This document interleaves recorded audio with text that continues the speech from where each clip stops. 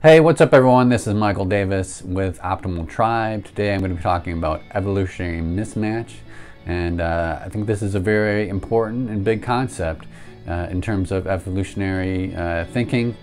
So what is evolutionary mismatch? It is when the human body is really designed for an ancient environment but it finds itself in a modern environment and so this can cause a lot of problems.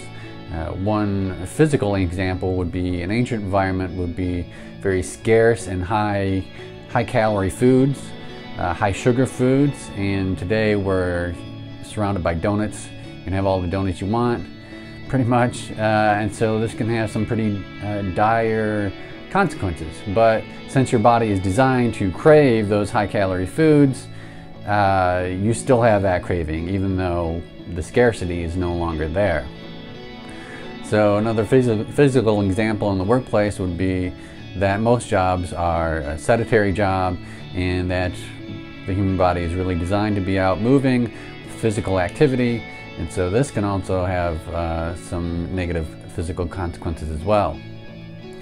But I really think one of the biggest things uh, when it comes to uh, team management from an evolutionary perspective is the evolutionary mismatch of the tribal setting and the tribal relationships. And uh, hu the human brain and body is designed to be uh, within a certain tribal setting in the workplace and the modern environment just, just no longer has that tribal settings.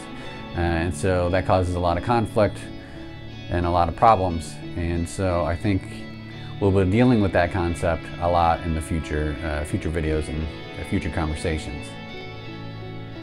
So that's it for today.